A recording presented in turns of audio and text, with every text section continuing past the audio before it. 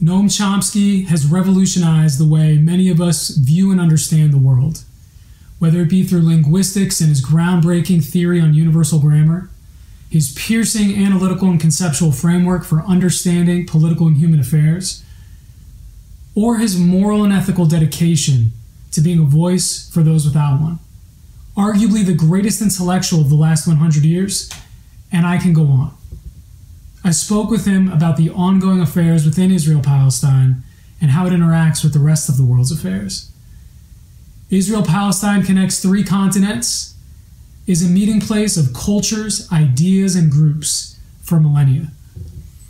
From before the Roman era to the Arab conquests to the Crusades, the Ottoman Empire, the rise and implementation of Zionism, and its spurring of the Arab Israeli conflict, and everything in between, this small piece of land and the Middle East as a whole can often be seen as a pulse for the ongoings of the rest of the world.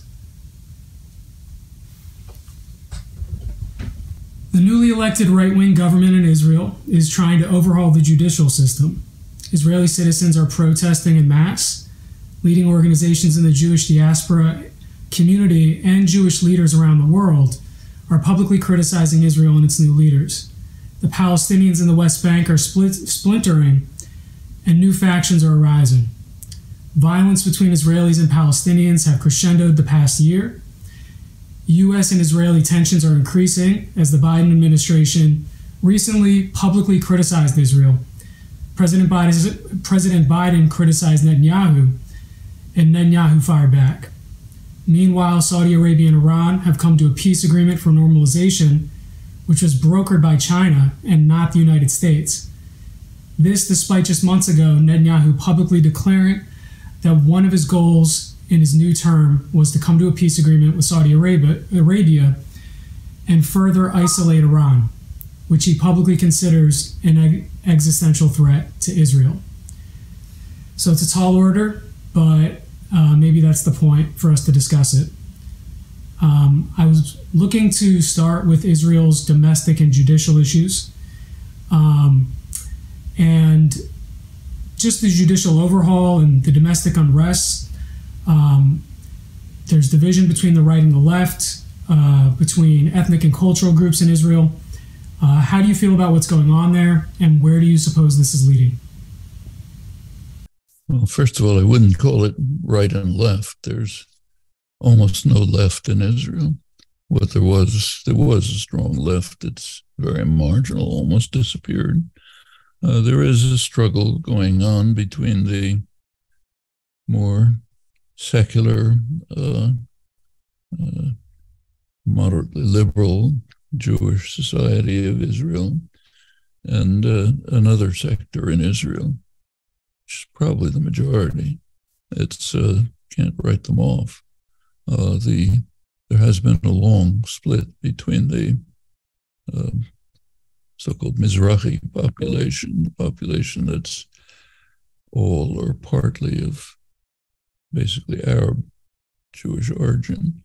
Uh, they've been they're they're the ones who, uh, in Hillary Clinton's famous terms, have been called the deplorables. They've been very poorly treated. I've seen it myself, but for throughout the whole period of the history of Israel, it's been run by a mostly Ashkenazi elite. There's a lot of bitterness among the uh, Mizrahi population, who happen to be many of them, not all, but many, uh, very religious, uh, living in communities controlled by uh, religious by rabbis, reactionary rabbis. And so there's a, and they have managed to essentially take control of the government. They're also led by groups that are proto-fascist, violently anti-Palestinian. There are brutal, thuggish organizations like uh, La Familia, soccer clubs, Beitar soccer clubs, Lahava, racist organization. Their leadership is now top of the government. Tzala Smotrich, Ben Gvir, right at the top of the government. Netanyahu had to form a to, to form a coalition which would keep him in power and incidentally out of jail. Uh, he had to bring in these elements. They are now dominant elements. Well, what's happening is uh, an uprising of the secular, more westernized, uh, uh, more educated part of the population against the religious nationalist takeover was described very well by Amira Haas as one of the leading uh, Israeli, one of the last residues of the Israeli left, uh, a fine essayist, uh, uh journalist, um, gave up living in Israel a long time ago, now lives in Ramallah on the West Bank, one of the most astute um, commentators on Israeli society, writes in Haaretz. Recently, she described what's happening, I think, accurately. She said, for many years, Israel has pretended that it's a state, a democratic state with an army that happens to have a secular, uh, a settler enterprise in the occupied territories. But the reality is, it's a settler enterprise with a state and an army and now the settler enterprise has turned against privileged, educated, secular Israeli Jews, not just against Palestinians. They don't like them. And that's what the uprising is about.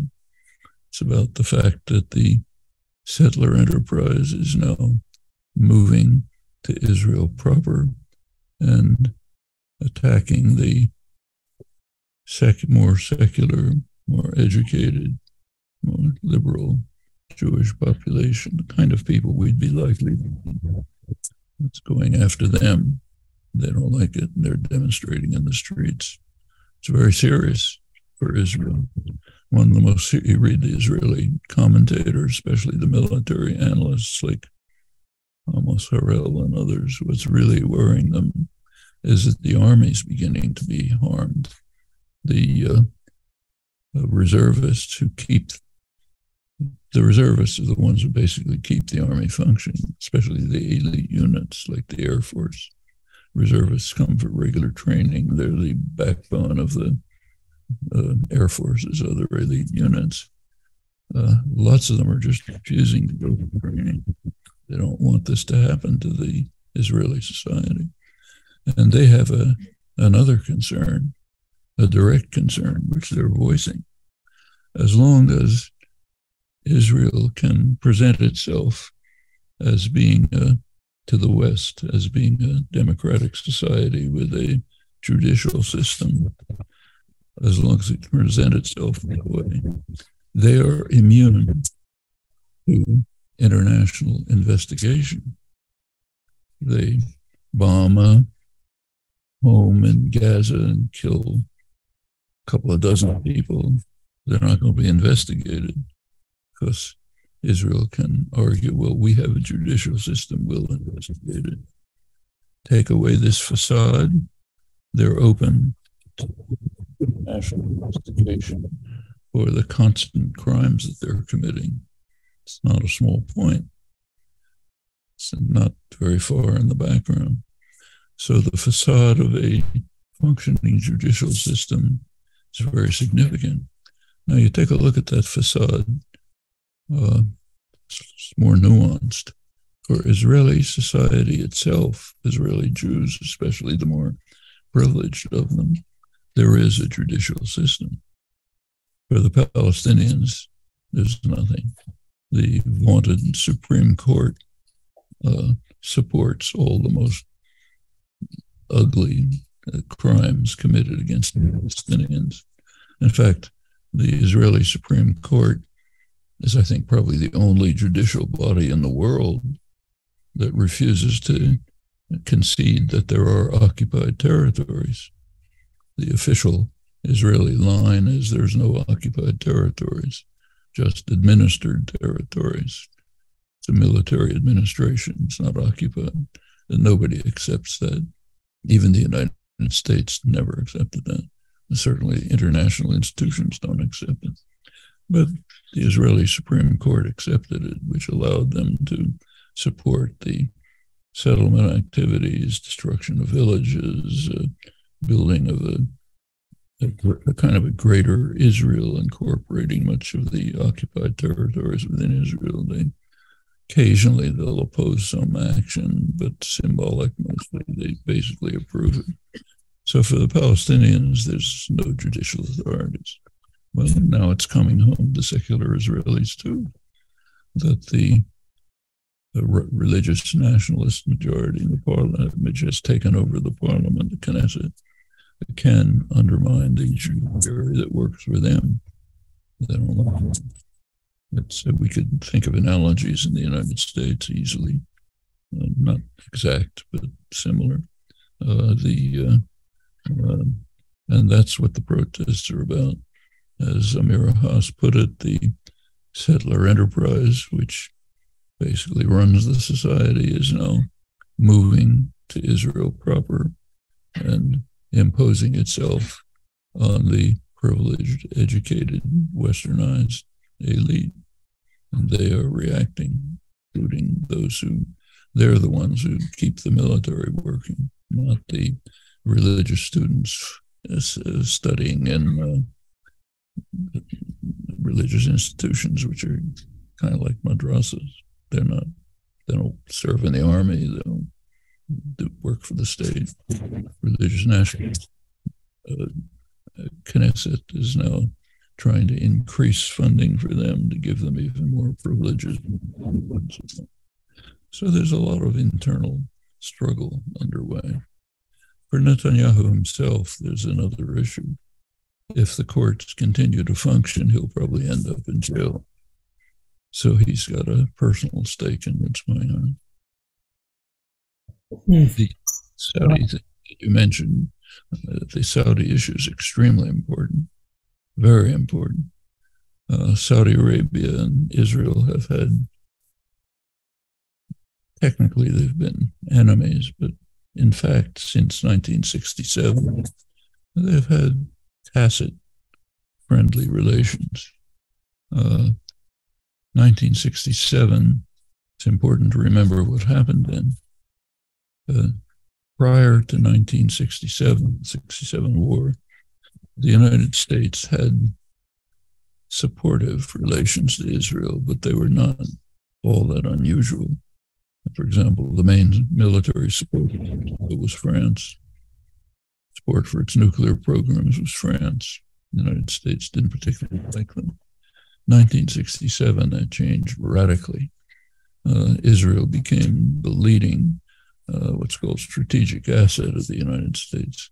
Close relation developed has no parallel in international affairs. Uh, these, what happened is that Israel performed a huge service to the United States and Saudi Arabia at the time. Uh, Saudi Arabia and Egypt were actually at war proxy war in Yemen, serious war. They represented two different elements in the Arab world. Uh, Egypt represented secular nationalism. Saudi Arabia represented radical Islam. Uh, the British, when they were running the place, tended to support radical Islam against secular nationalism, which they regarded as much more dangerous to the imperial project. The United States took over and same thing, much more supportive of radical Islam than secular nationalism, which threatens the uh, maintaining imperial domination. Well, in 1967, Israel smashed the forces of secular nationalism, Nasser's Egypt, and supported Saudi Arabia, radical Islam. U.S. policy changed dramatically Saudi Arabia, and of course, Israel and Saudi Arabia became tacit allies, have the same basic interests. In fact, uh, you look at U.S. serious military, other intelligence analysts at the time, they regarded U.S. policy in the following years in the Middle East as based on what were called three pillars Saudi Arabia, Israel, and Iran. Iran was then under the Shah. Uh, firm U.S. ally, brutal, vicious dictator who the U.S. was strong, had put into power and was strongly supporting. Technically, the three of those countries were at war. Saudi Arabia and as well, but that was technically. In fact, they had pretty good relations among them. A lot of this came out publicly after the Iranian dictatorship was overthrown in 79. Relations between Israel and Iran were particularly cl- very close, but also with Saudi Arabia. Well, those are the three pillars on which U.S. power was based. Iran became an enemy 79.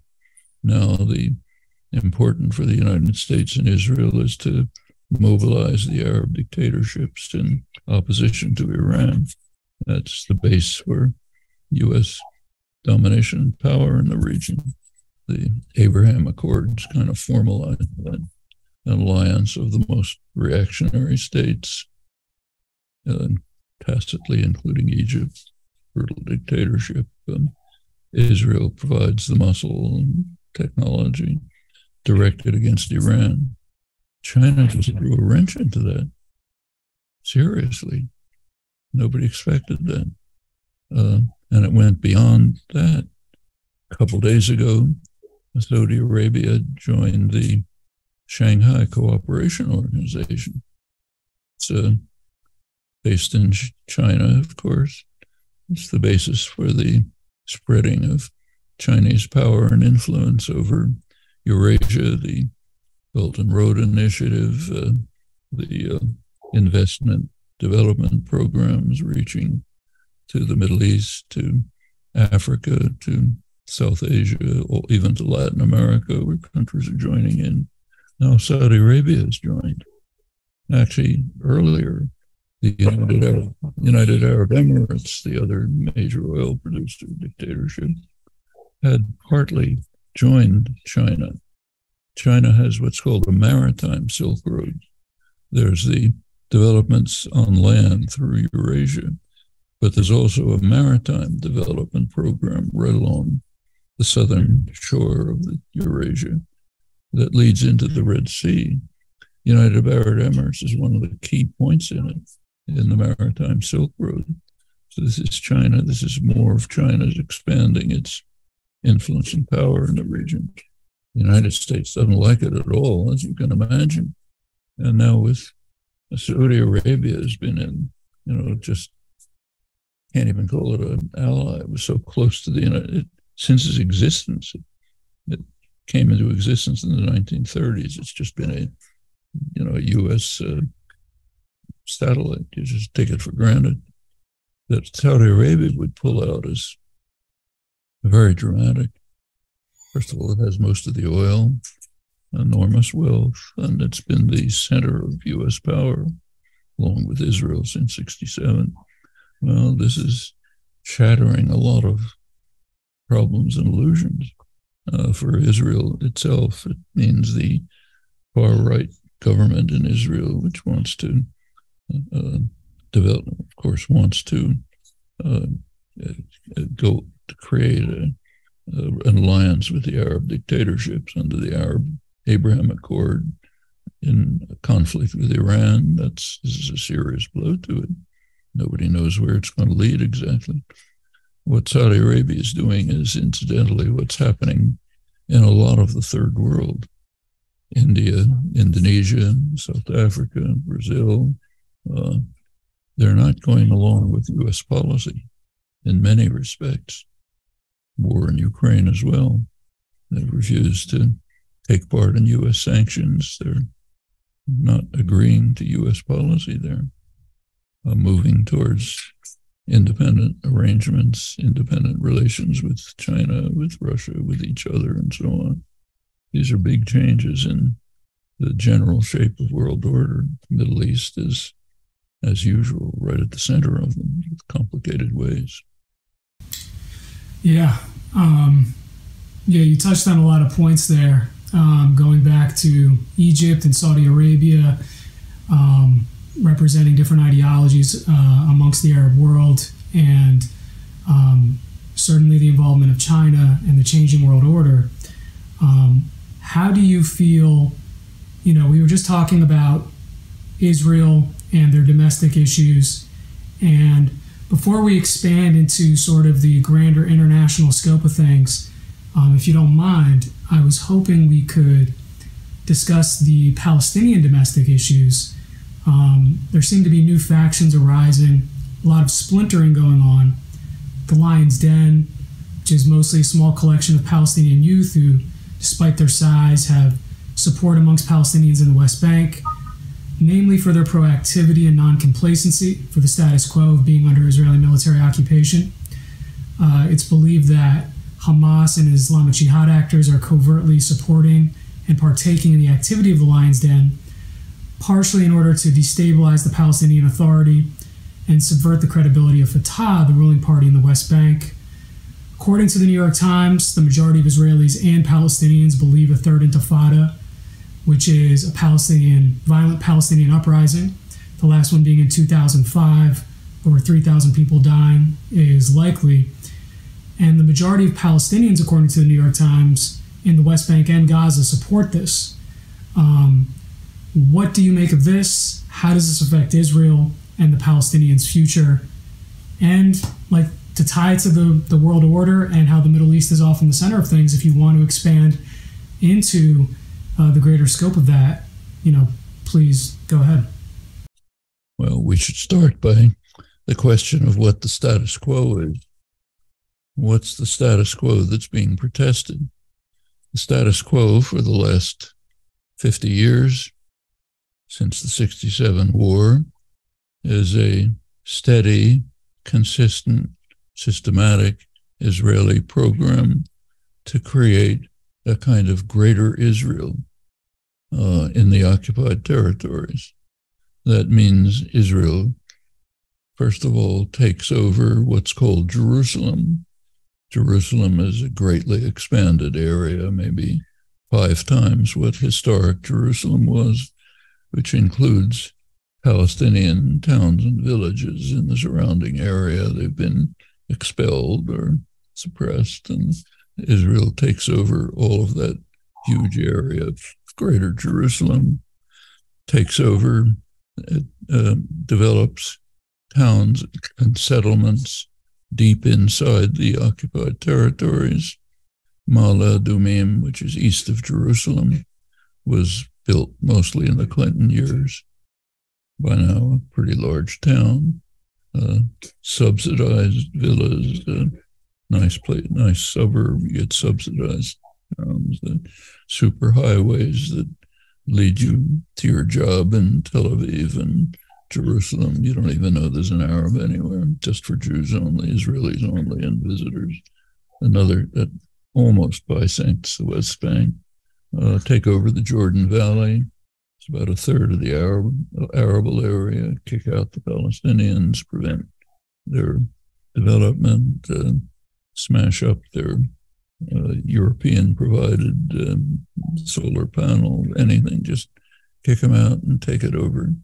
Uh, other salients north of Ma'ale Adumim, town of Ariel, and deep in the West Bank, uh, Kadumim, others.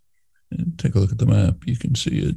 The idea is to essentially break up the settled areas, take over whatever's of value to Israel, slowly integrated into Israel, uh, leave out the heavy population centers. So Israel doesn't want Palestinians within greater Israel. But the idea is ultimately to annex it. But all of this is done slowly, step by step. So it's under the radar. You know, just do a little bit here, a little bit there, and so on. But the program's very systematic, was laid out clearly at the beginning.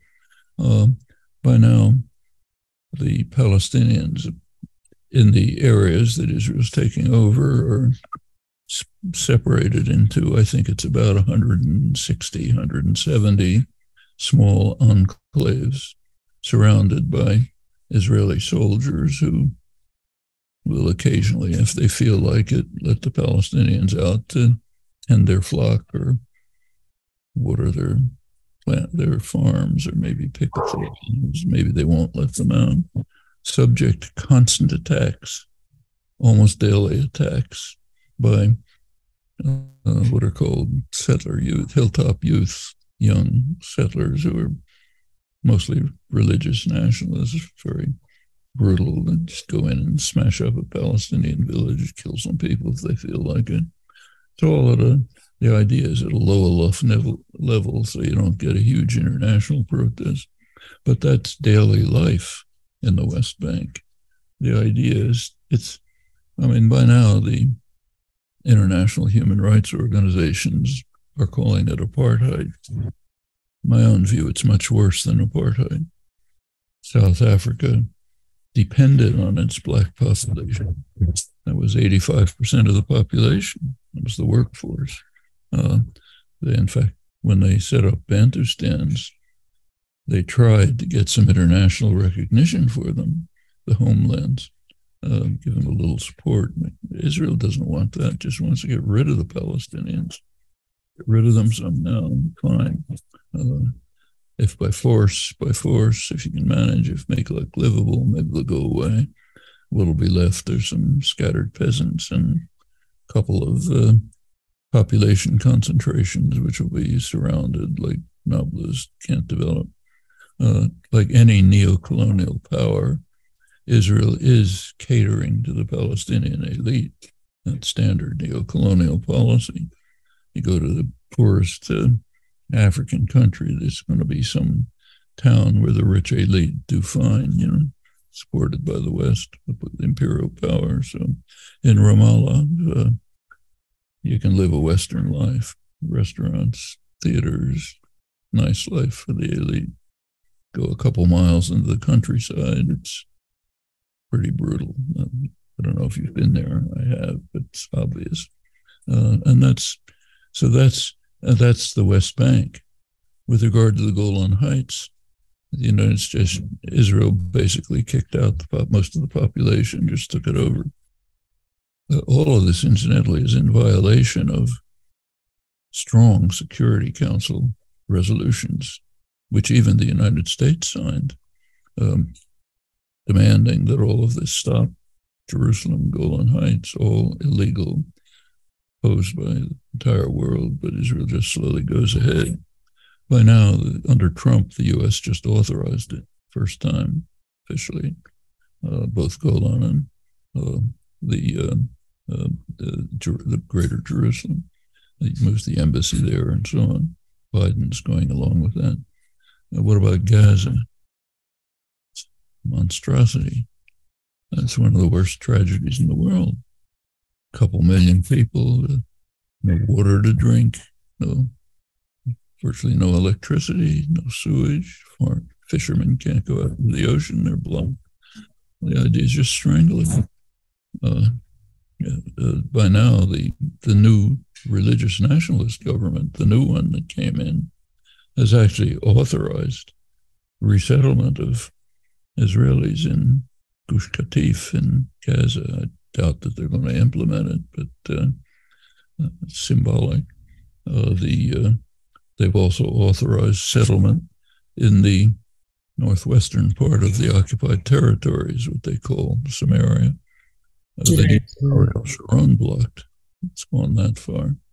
Uh, but uh, the, the policies with various slight variations have been pretty systematic. Didn't matter who was in power.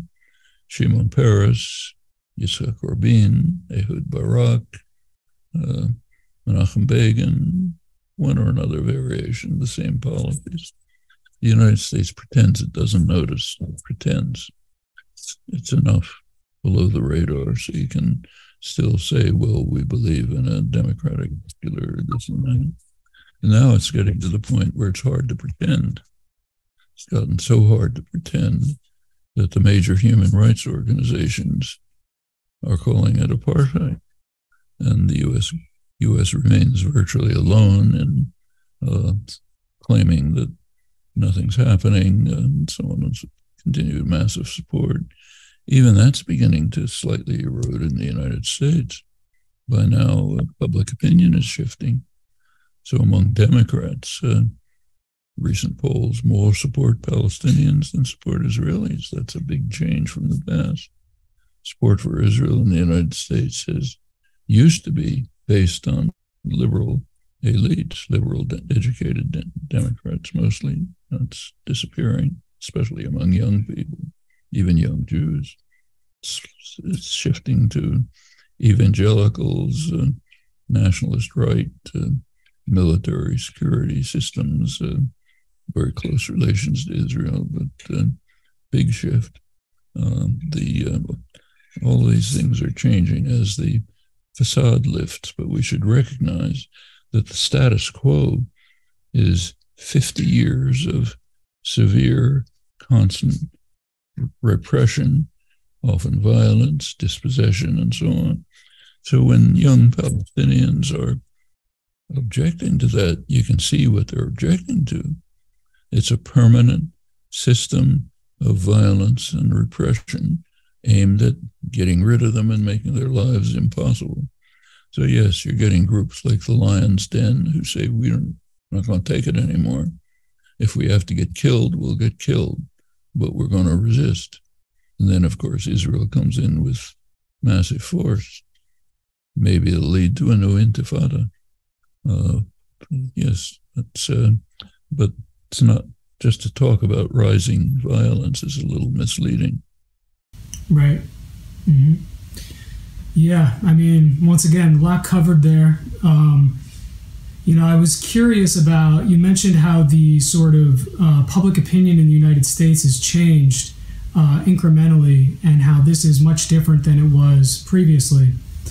Um, this is something that has interested me, particularly as it corresponds, and this is something you've covered a lot regarding propaganda in the United States and corporate media. Um, historically, in the past, uh, for as long as I can remember, dominant corporate media outlets in the United States have toed the main narrative regarding the Israeli Palestinian conflict and really a core narrative for general Israeli affairs, which is that Israel is doing its best in a hostile political landscape that it's constantly under siege and that its policies, even the controversial ones like Palestinian house demolitions and disproportionate force, are mainly for security purposes. Um, like you said, it's kind of like this uh, sort of, it's not deep or nuanced, but it's a general narrative that's toed. Uh, I've also noticed that there's been cracks in this narrative, not just in perception as it pertains to public opinion, and this might be uh, connected, but just regarding corporate media messaging. The typical outlets that you're used to are discussing the controversial nature of Itamar Ben Gvir and Bez- uh, Bezalel Smotrich. They've talked more about Palestinian rights again, like the the standard, the the, M- the NBCs, the CNNs. Uh, they talked about Palestinian legitimacy to having their own state in historic Palestine, even if just peppering it in. It's just a little different than the traditional narrative. And I also recently saw a piece discussing Smotrich's, Smotrich's recent comments about there being no such thing as a Palestinian, and also him speaking in front of a map that depicts Israel as larger, encompassing parts of Jordan and other areas around it. Um, generally speaking, the tone has been how now has been how could he say something like that? How could he do that? um, again amongst corporate media outlets um, and corporate and just periodicals that are owned by corporate media outlets. Additionally, uh, leading Jewish diaspora organizations are criticizing this as well, almost lock and step.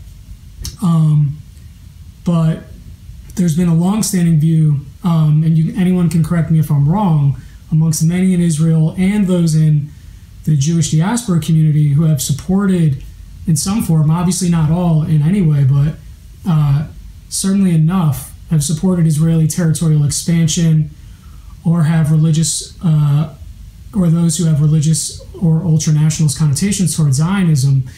Uh, espouse these views of there not being a Palestinian and, like you mentioned, Greater Israel, suggesting their national identity was conjured up in response to the rise of Zionism. Um, this sentiment to, from my standpoint, at least observing it, seems to have been echoed for decades, perhaps more privately um, amongst Israeli political elites. And again, has only recently come up in the mainstream and amongst diaspora leadership groups and leaders and spotlighted. Curious, just connecting that to what you were saying. Um, what do you make of this shift? Is it is it corresponding to public sentiment? Is it what's the chicken, what's the egg? You know. Well, first of all, the sentence, the statement that there's no Palestinians, goes back to Golda Meir, the hero of the American liberal establishment. Said there's no such things as Palestinians. She was told to keep quiet. You're not supposed to say things like that. Now, Smotrich, Netanyahu, and others say it openly. The idea that the Palestinians came in, as which you quoted uh, from Netanyahu, as the result of the Jewish uh, development of Palestine, brought in Palestinians that is now considered outrageous. And go back 30 years. That's Joan Peters, uh, hero of the left. Joan Peters wrote a best selling book. She probably didn't write it, but she was put up as the front, uh, saying, This nice young American woman, attractive young woman, pacifist, uh, went to Palestine, all pro Israel, and discovered this amazing thing that the Palestinians were never there. They just came in after the Jewish uh, immigration. It was a bestseller, hundreds of laudatory reviews from left commentators and others. The most wonderful thing ever, you know. It was, of course, a total fraud. It was exposed by Norman Finkelstein.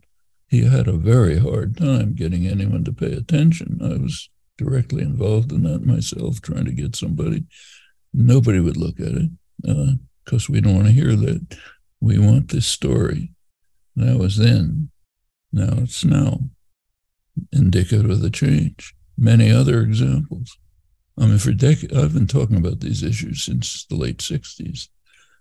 I had to have police protection at campuses. If I was giving a talk on Israel Palestine, even my own campus, campus police, city police, protect from uh, Zionist violence. Nobody thought there was anything wrong with that. That's fine. It's so outrageous. How, how should you be allowed to talk about it? It's called cancel culture today, but it's been reigning for decades, standard, not just on this issue. Well, a couple of years ago, it changed, and you can time the change very clearly cast lead. The cast lead assault on Gaza in 2008 9. Somehow that broke the dam. Uh, especially young people are just not going to take it anymore. It was too grotesque, too outlandish. Obama's attitude was awful, turned people against him. Uh, since then, you can see an enormous difference, particularly on campuses support for Palestinians is far beyond for uh, what you can get from Israel. No police protection, big crowds, and so on. Incidentally, who was responsible for the crimes in Cast Lead? Who was the general in charge?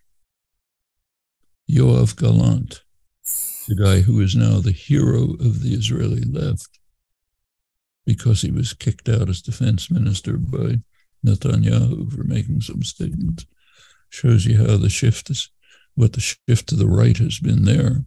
Yeah. Well, the shift towards, I wouldn't call it the left, but towards something like the international consensus has taken place here. Well, that's significant. It's gotten to the point where uh, a couple of years ago, one congresswoman, Betsy McCollum, uh, put in a resolution, which of course was defeated, overwhelmingly calling for looking at U.S. aid to Israel, which actually violates many U- U.S. laws. She was dismissed. Now, Bernie Sanders just came with a similar resolution. He's harder to dismiss. Bernie Sanders and Jamal Bowman just came with a resolution uh, pointing out that Israeli aid should be reconsidered in the context of U.S. law, the law, so-called Leahy law, which bans U.S. military aid to units abroad which are engaged in systematic human rights violations. Well, the IDF is involved in constant human rights violations in the occupied territories. That questions the legitimacy of U.S. aid. There are other questions. Notice that the United States does not officially recognize that Israel has nuclear weapons. Of course, everybody knows that it does, but the U.S. doesn't recognize it. You recognize it, brings in U.S. law, which raises questions about giving military or any aid to countries that develop nuclear weapons outside the NPT framework. So we don't talk about that.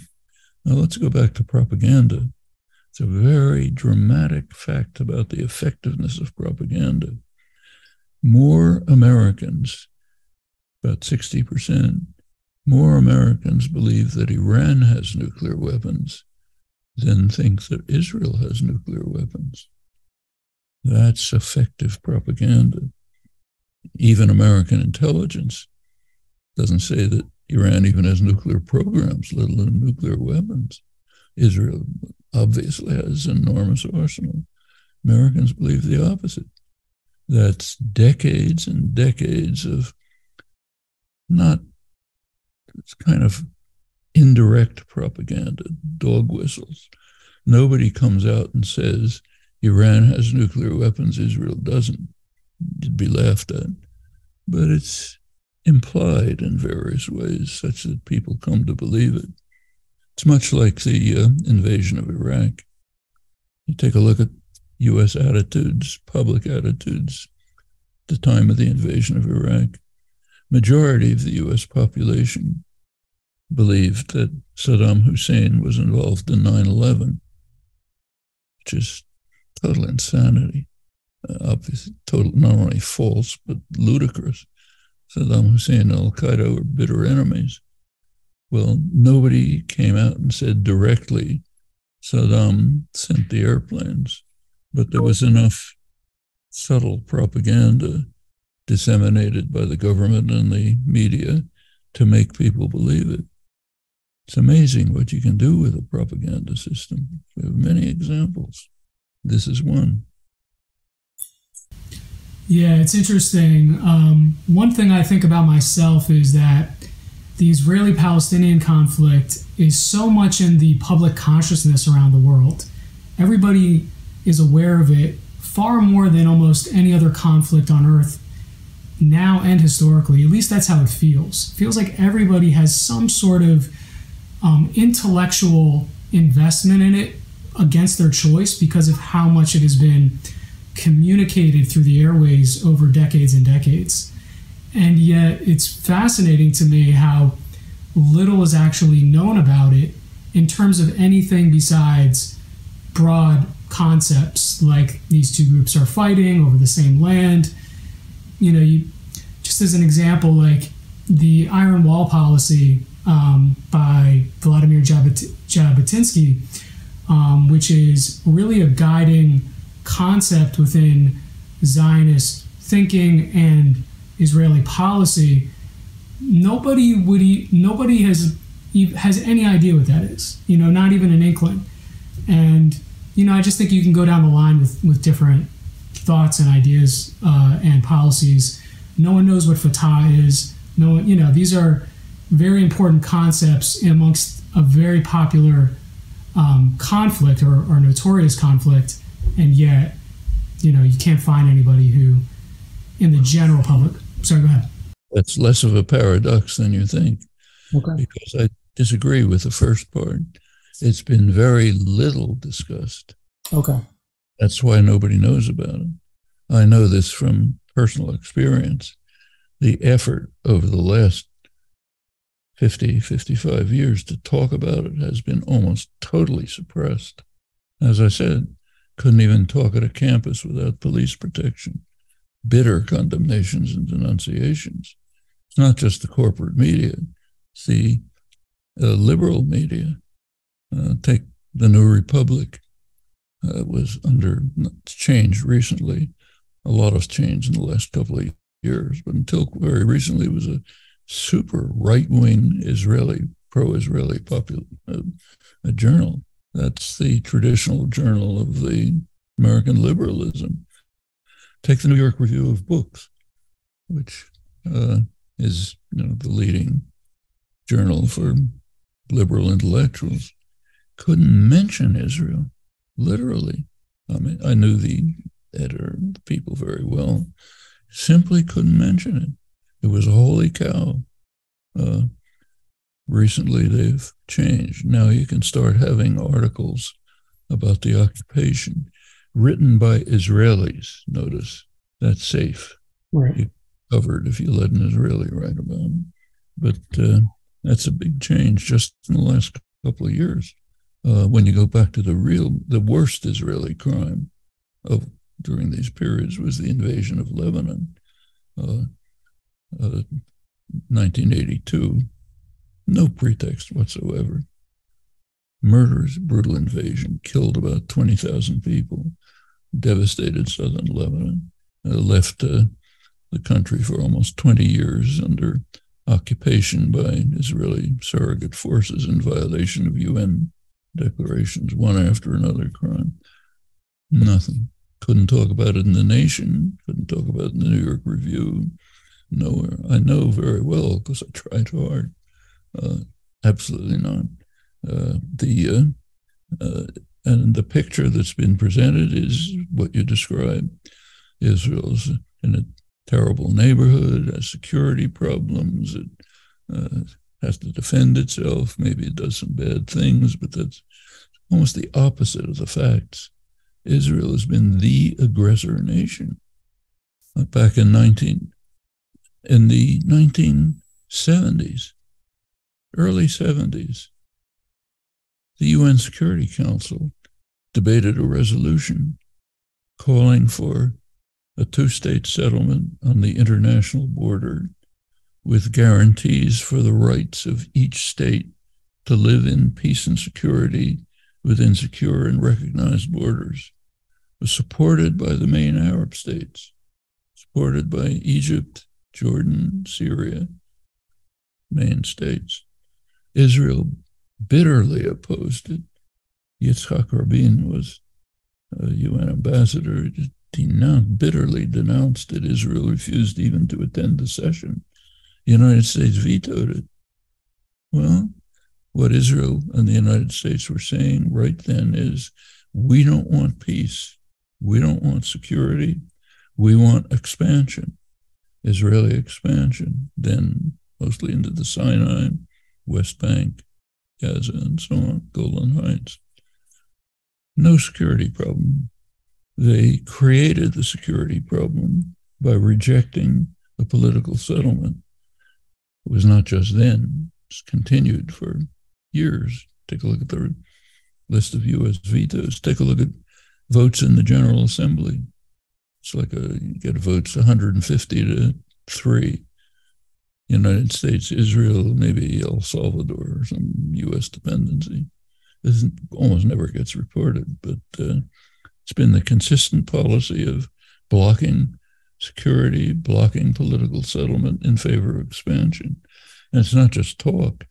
U.S. gives direct, massive support for it, support that's way out of line of anything else in international affairs. Well, then yes, you get the media giving the standard story, moral, embattled Israel uh, defending itself from attacks. Almost the opposite of the truth. Well, now it's finally beginning to seep through, partly because the, right now, clearly because the secular, westernized part of the population itself is being attacked. They're not the attackers anymore. They always were, they still are. But now they're getting attacked, and that's no good. We don't want that. It's uh, uh, so yes, you're getting a shift.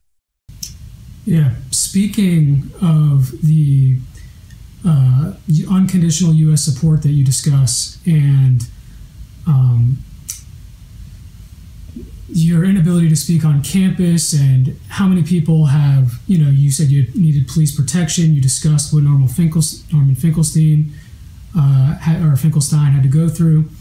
And um, what I'm curious about is um, like you said, no matter what Israel's policies have been, the U.S. has supported it, whether in the UN through funding, military aid, rhetoric, whatever you whatever it is, they support it. Um, historically, my understanding is that you have not subscribed to the idea that AIPAC, uh, the Israel lobby, is the primary cause of this for this sort of unison support and unconditional support by the United States, um, regardless of the reasons, though they are important.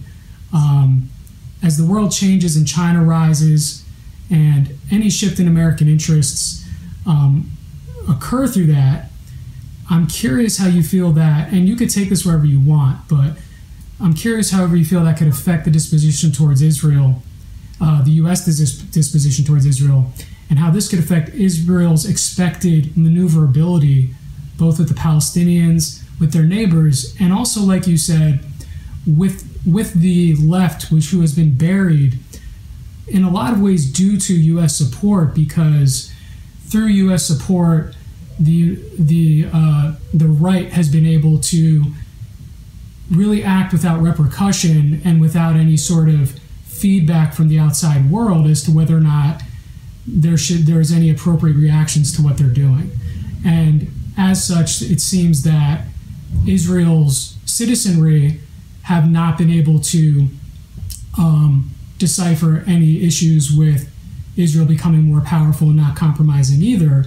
And so the left doesn't really have anything to argue about in Israel in terms of compromise and peace because there's no repercussions. But you could take that wherever you want. I mentioned AIPAC. I mentioned the changing world order and how that might affect unconditional U.S. support for Israel and how that might affect Israel's policies, both domestically and with the Palestinians and abroad. But wherever you want to go with that. There's a lot going on that's changing the situation. One is inside the United States, which we talked about. There's been a shift of support for Israel. It's the shift is from the liberal left, where what's called left here means kind of centrist, but the liberal part of the population, the Democratic Party and the Republic and so on, uh, been a, but not the, the Republic, but there's been a shift from uh, su- strong support for Israel to critical analysis and decline of support and more recognition, limited recognition for Palestinian rights. Shift is towards the huge evangelical community, which has been politicized since the 1970s, is now a major force in American affairs in many respects. They're very pro Israel. They're ultra anti Semitic. They're the most extreme anti Semites in history. Their position is that we should have a war in Israel. Armageddon will come. Christ will return. Thousand years of peace. Jews will be assigned to eternal perdition. Can't get more anti Semitic than that. They're the strongest supporters of Israel because we want to move on to have this conflict. And I'm talking about the end times group. It's not all evangelicals, one strong element in them, but they're strongly in support of Israel. Uh, the military and security systems strongly support Israel. They're very close to Israeli. Uh, Israel's comparative advantage is in military force and repression it support it strongly supports U.S. Uh, I mean, in many ways, take say Guatemala. Uh, the Reagan administration, uh, Guatemala was carrying out murderous repression, virtually genocidal. Congress blocked it, uh, blocked U.S. aid, so Reagan turned to Israel, who then took over arming, supporting the Guatemalan military. Uh, it still does. I mean, standard issue in the Guatemalan army, Israeli arms. Uh, the Myanmar, pretty brutal military regime, pretty much created by Israeli security systems, supported by them, armed by them, and so on. It's all over the world. There's a major South Africa. Israel supported it when the United States was supporting South Africa, and so on. Performed all sorts of services to the United States it's very closely linked to U.S. Uh, military system. In fact, one of the interesting WikiLeaks revelations was a Pentagon list of uh, positions around the world, which are of top significance. We must protect them because they're so important. I think there were about a dozen.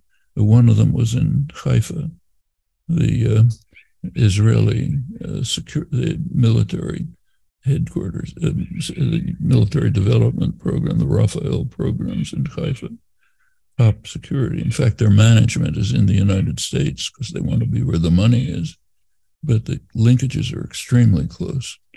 So they have support there, support from right wing nationalists, evangelicals. It's very different from the past. If you look at millennials, the younger generation, they're just split. Uh, very little limited support for Israel. That's changing domestically, and that's going to have effects. Internationally, the big change is what you started with Saudi Arabia. The idea of Saudi Arabia pulling out of the U.S. Middle East system is an astonishing break from the last 80 years. Not a small thing. And it's the centerpiece. They're moving towards accommodation with Iran. Unbelievable, enormous change. Joining the Shanghai Cooperation Organization doesn't mean that much in policy, but it's a symbolic blow to the United States and Israel. How they're going to work their way out of this, we don't know. It's. Uh, yeah. Um, I have one last question for you, if you don't mind. And uh, that would be that it seems that the Israelis and the Palestinians' existence uh, is inevitably intertwined, no matter how anything else unfolds. And that's not to say that they've always been intertwined. I'm not getting into the the sort of demographic history about that, but as things have unfolded, really since the 19 uh, uh, the night uh, the late 1800s, uh, they have had a sort of intertwined history, um, and yet the two of them live in separate worlds. Israel has political autonomy powerful military and a strong economy, which we have gone over. You mentioned their highway systems. You mentioned um, how nice their lives are. The Palestinians, for the most part, outside of the elites that you mentioned in Ramallah, have uh, none of these things. Uh, both societies, Israel and the Palestinians in the West Bank and Gaza, um, are once again divided internally. And it seems that the two state solution seems like a more of a utopian concept than a practical political solution at this point. Um, what do you feel, if you have any inkling, uh, is the next step forward for these two peoples? And how can things possibly get better for each of them respectively and together before things actually get worse? Well, if we look at the situation today, there are the debate is there's a lot of debate. It's usually between a one state and a two state settlement. That's overlooking a third alternative, which is the most important of all Greater Israel. That's the one that's being implemented. Maybe nobody talks about it, but that's being implemented day by day, has been for the last 50 years. By now, young Israelis don't even know that there's a green line, an international border. Doesn't appear on maps. A Tel Aviv mun- municipality recently made a proposal to put it on the map for the schools. It was banned. Can't allow the schools to know that there's an international boundary. Just get slowly integrated into Israel. You can leave, live in a comfortable villa, state supported in say Ma'ale Adumim, uh, travel to your job on a highway for Israelis. You don't even know there's any Palestinians. You certainly don't know there's a border. You travel there, borders erased, you know, in consciousness. Well, that's the third alternative. Of these three, which ones can reach fruition? There's a lot of talk about one state, including good people, smart people who know a lot about the situation. It's very hard to imagine that Israel will ever agree to go out of existence and have the Jewish population be a minority in a Palestinian state. Pretty hard to imagine that. And has no international support, I should say, not even African countries, which are very jealous of sovereignty. If it could happen, be nice, you know, but in fact, I've sort of been in favor of it for 80 years in one form or another, but I think it's extremely unrealistic. Is a two state settlement possible? I think it's possible. If the U.S. demands it, can be imposed. Not going to be pretty, but not out of the question. The alternative to that is establishing the greater Israel system more firmly. And if the U.S. begins to pull out support, Israel is in serious trouble. When it made a decision back in the 70s to favor expansion over security, that had a corollary. Corollary is you depend on the United States for survival that goes along with the policy of expansion.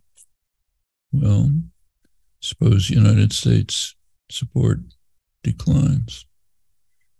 Very unclear what will happen uh, with the Israeli right wing religious nationalist government. It's extremely unpredictable. I mean, they can say, we have God on our side. We don't care what happens. Well, you can see where that can lead to a state with a powerful military, huge nuclear arsenal. Actually, there is a strain of thinking in Israeli policy, which goes back to the 1950s, sometimes called the Samson complex. If we're pressed too far, we'll bring down the temple walls. Uh, in the 50s, what they said is nishtagea will go crazy. We'll show them didn't mean much then. You got a big nuclear arsenal, a huge military, it means something. There's that in the background. And that in the hands of religious nationalist extremists is a very dangerous situation. Well, these are things to keep in mind. Uh, I don't think we can make uh, making predictions is kind of idle. We should ask what we can do about it. Well, I think what we can do is bring about, try to bring about some.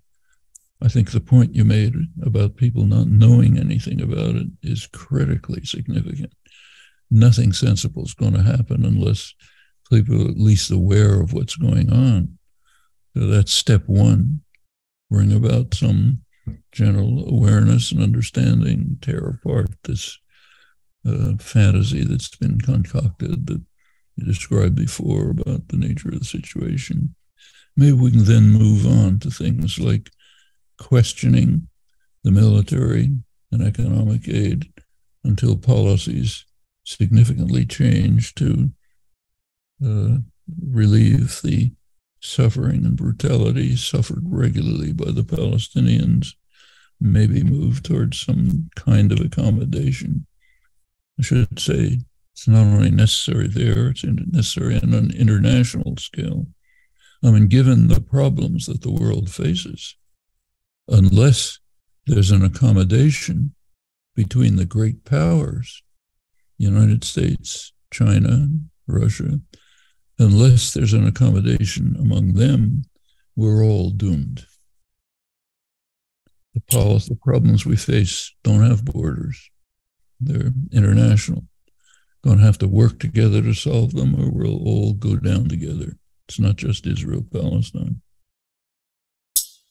Well, yeah, there's uh, there's a lot of directions to go with that with that, and uh, it's a good play. It's a it's important for us to think about that, and uh, you know, I appreciate your thoughts and I appreciate your time. Thank you. Thanks. Yep. Good to talk to you. Good talking to you.